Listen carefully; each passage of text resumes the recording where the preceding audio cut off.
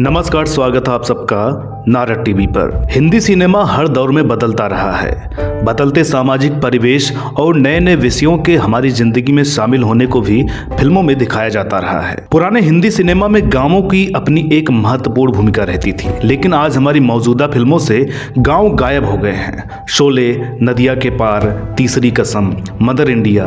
ग्रामीण पृष्ठभूमि पर आधारित ये कुछ ऐसी फ़िल्में हैं जो आज भी उतनी ही नई लगती हैं। गाँव की संस्कृति फ़िल्मों से गायब तो हुई ही, साथ ही साथ संयुक्त परिवार की विशेषता बताती हुई फ़िल्में भी बनना बंद हो गई। टेलीविज़न धारावाहिकों के नाम पर भी दर्शकों को घर तोड़ने वाली कहानियाँ दिखाई जाती हैं, जिसका असर हमारी असल ज़िंदगी में भी हो रहा है, क्योंकि सिनेमा से हम बहुत कुछ सीखते हैं। असल ज़िंदगी में भी हम गाँव से दूरी बना रहे हैं और संयुक्त परिवार की अवधारणा को छोड़कर हम दो हमारे दो वाले नीति पर चल रहे हैं। शिकायतें तो बहुत हैं, लेकिन हम ये एपिसोड शिकायतें बताने के लिए नहीं बना रहे हैं। आज के एपिसोड में हम जानेंगे गाँव की संस्कृति और संयुक्त परिवार की खूबसूरती को फिल्मी पर्दे पर सबसे सजीव चित्रण करने वाली कंपनी राष्ट्रीय प्रोडक्शन की। कोई जब राह न पाए, मेरे संग आए, के पग पग दीप मेरी दोस्ती, मेरा प्यार। साची कहे, तोरे आवन से हमरे अंगना में आई बाहर भौजी अंगना में आई बाहर भौजी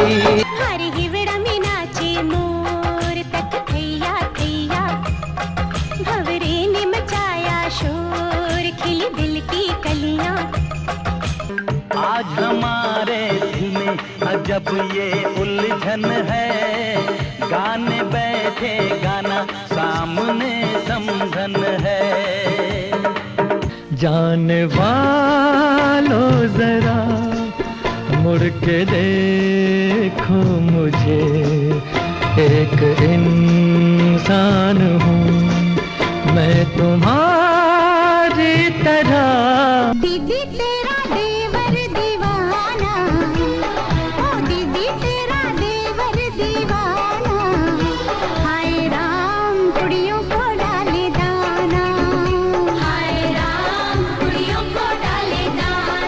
राष्ट्रीय प्रोडक्शन का इतिहास शुरू होता है ताराचंद बड़जात्या से। ताराचंद बड़जात्या एक विचारक, दार्शनिक, निर्माता एवं वितरक थे, जिनके द्वारा स्थापित राष्ट्रीय प्रोडक्शन ने गत अनेक वर्षों में अभी तक कोई सत्तावन फ़िल्में प्रदान की हैं। हिंदी, तमिल, तेलुगु, अंग्रेज़ी भाषा की परिवारों को आकर्षित करने वाली यादगार फ़िल्मों के साथ देश व दुनिया में इन्होंने फ़िल्में वितरित की। प्रदर्शन के क्षेत्र में जो नाम कमाया, वह अविस्मरणीय है। भारतीय सिनेमा जगत के युग पुरुष ताराचंद बड़जात्या का नाम एक ऐसे फिल्मकार के रूप में याद किया जाता है, जिन्होंने पारिवारिक और साफ़ सुथरी फ़िल्म बनाकर लगभग चार दशकों तक सिने दर्शकों के दिलों पर राज किया। फ़िल्म जगत में सेठ जी के नाम से मशहूर महान निर्माता ताराचंद का जन्म राजस्थान में एक मध्यम वर्गीय परिवार में 10 मई 1914 को हुआ था। ताराचंद जी ने अपनी स्नातक की शिक्षा कोलकाता के विद्यासागर कॉलेज से पूरी की। उनके पिताजी चाहते कि वह पढ़ लिखकर बैरिस्टर बने, लेकिन परिवार की आर्थिक स्थिति खराब होने के कारण ताराचंद को अपनी पढ़ाई बीच में ही छोड़नी पड़ी। वर्ष 1933 में ताराचंद जी नौकरी की तलाश में मुंबई आ गए। मुंबई में वह Moti Mahal theatres private limited नामक एक वितरण संस्था से जुड़ गए। यहाँ उन्हें पारिश्रमिक के तौर पर मात्र पचासी रुपए महीने मिलते थे। वर्ष उन्नीस सौ उनतालीस में उनके काम से खुश होकर वितरण संस्था ने उन्हें महाप्रबंधक के पद पर नियुक्त करके मद्रास भेज दिया। मद्रास पहुँचने के बाद ताराचंद जी और अधिक मेहनत के साथ काम करने लगे। उन्होंने वहाँ के कई निर्माताओं से मुलाकात की और अपनी संस्था के लिए वितरण के सारे अधिकार खरीद लिए। मोती महल थिएटर्स के मालिक उनके काम को देखकर काफ़ी खुश हुए और उन्हें स्वयं की वितरण संस्था शुरू करने के लिए प्रेरित भी किया। इसके साथ ही उनकी आर्थिक सहायता करने का भी वादा किया। ताराचंद जी को यह बात जच गई और उन्होंने अपनी खुद की वितरण संस्था खोलने का निश्चय किया। जब देश 15 अगस्त उन्नीस को स्वतंत्र हुआ तो इसी दिन उन्होंने राष्ट्रीय नाम से वितरण संस्था यानी डिस्ट्रीब्यूशन कंपनी की शुरुआत की। वितरण व्यवसाय के लिए उन्होंने जो पहली फ़िल्म खरीदी थी, वह थी चंद्रलेखा। जैमिनी स्टूडियो के बैनर तले बनी यह फ़िल्म काफ़ी सुपरहिट हुई, जिससे उन्हें काफ़ी फ़ायदा हुआ। इसके बाद जैमिनी के अस्थायी वितरक बन गए। इसके बाद ताराचंद ने दक्षिण भारत के कई अन्य निर्माताओं को हिंदी हिंदी फ़िल्म बनाने के लिए प्रेरित भी किया। M V M, Anjali, Venus, Pakshiraj और प्रसाद प्रोडक्शन जैसे फ़िल्म निर्माण संस्थाएँ उनके ही सहयोग से हिंदी फ़िल्म निर्माण की ओर अग्रसर हुई और बाद में काफ़ी सफल भी हुई। इसके बाद ताराचंद जी फ़िल्म प्रदर्शन के क्षेत्र से भी जुड़ गए, जिससे उन्हें काफ़ी फ़ायदा हुआ। उन्होंने कई शहरों में सिनेमा हॉल का निर्माण करवाया। फ़िल्म वितरण के साथ साथ ताराचंद जी का यह भी सपना था कि वह छोटे बजट की पारिवारिक फ़िल्मों का निर्माण भी करें। वर्ष उन्नीस सौ बासठ में प्रदर्शित फ़िल्म आरती के ज़रिए उन्होंने फ़िल्म निर्माण क्षेत्र में कदम रख दिया। फ़िल्म आरती की सफलता के बाद बतौर निर्माता वह फ़िल्म इंडस्ट्री में स्थापित हो गए। इस फ़िल्म से जुड़ा रोचक तथ्य ये है कि इस फ़िल्म के लिए अभिनेता संजीव कुमार ने स्क्रीन टेस्ट दिया था, जिसमें वह पास नहीं हो सके थे। ताराचंद जी के मन में यह बात हमेशा आती थी कि नए कलाकारों को फ़िल्म इंडस्ट्री में स्थापित होने का समुचित अवसर नहीं मिल पा रहा है। उन्होंने यह संकल्प लिया कि वो अपनी फ़िल्मों के माध्यम से नए नए कलाकारों को अपनी प्रतिभा दिखाने का ज़्यादा से ज़्यादा मौका देंगे। वर्ष उन्नीस में इसी उद्देश्य को पूरा करने के लिए उन्होंने फ़िल्म दोस्ती का निर्माण किया, जिसमें उन्होंने अभिनेता संजय खान को फ़िल्म इंडस्ट्री के पहले पर्दे पर पेश किया।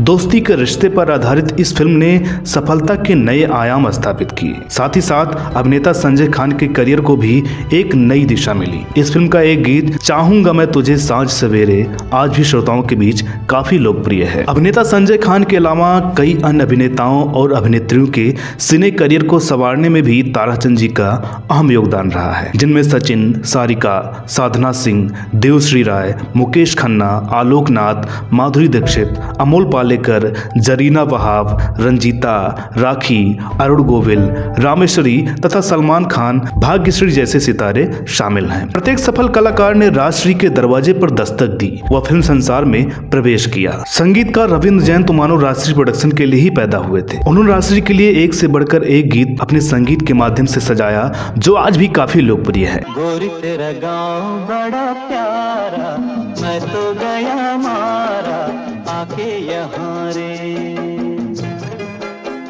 कई दिन से मुझे कोई सपनों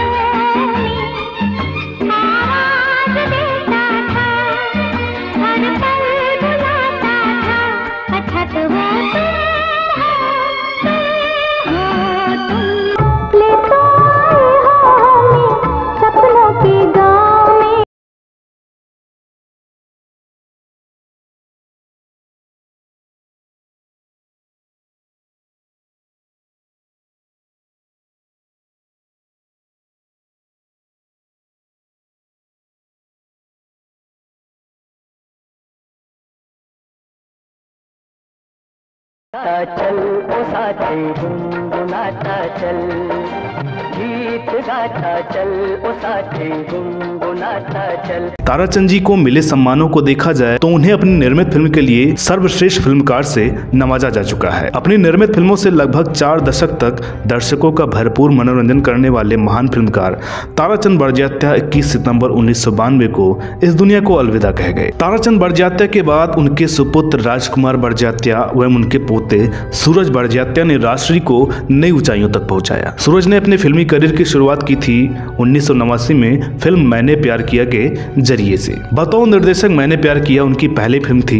इस फ़िल्म ने न सिर्फ़ सूरज को एक कामयाब निर्देशक बनाया, बल्कि सलमान खान को भी एक बड़ा ब्रेक दिया। प्रेम नाम से सूरज को खासा लगाव है। उनकी ज़्यादातर फ़िल्मों में हीरो का नाम प्रेम ही होता है। सलमान खान से लेकर शाहिद कपूर और ऋतिक रोशन तक हर कोई प्रेम बन चुका है। बॉलीवुड में रीमेक फ़िल्मों का ट्रेंड भी सूरज ने ही शुरू किया। जब उन्होंने नदिया के पार की रीमेक, हम आपके हैं, कौन बनाई। सूरज बड़जियाता के निर्देशन में बनी फ़िल्म हम आपके हैं कौन 5 अगस्त उन्नीस सौ चौरानवे में रिलीज़ हुई थी। सलमान खान और माधुरी दीक्षित के प्यार की ये कहानी कभी न कभी हर घर में सच हुई होगी। चौदह गानों की इस फ़िल्म ने प्यार, संस्कार, परिवार और रिश्तों को बखूबी पर्दे पर दिखाया। सूरज और सलमान की जोड़ी ने फ़िल्म हम साथ साथ हैं में भी कमाल कर दिखाया। ये फ़िल्म मल्टी स्टारर थी, जिसमें संयुक्त परिवार में रहने की कई समस्याओं और उसके हल के बारे में दिखाया गया है। 2006 में राष्ट्रीय बैनर के तले बनी फ़िल्म विवाह आज भी हिंदी सिनेमा के लिए एक मील का पत्थर है। 12 नवंबर 2015 को रिलीज़ हुई सलमान खान स्टार फ़िल्म प्रेम रतन धन पायो में भी सलमान खान और सूरज की जोड़ी ने बॉक्स ऑफ़िस पर कमाल कर दिखाया। राष्ट्रीय प्रोडक्शन की यह अभी तक सबसे ज़्यादा कमाई करने वाली फ़िल्म है। राष्ट्रीय ने फ़िल्मों के साथ साथ टेलीविज़न की दुनिया में भी महत्वपूर्ण काम किया।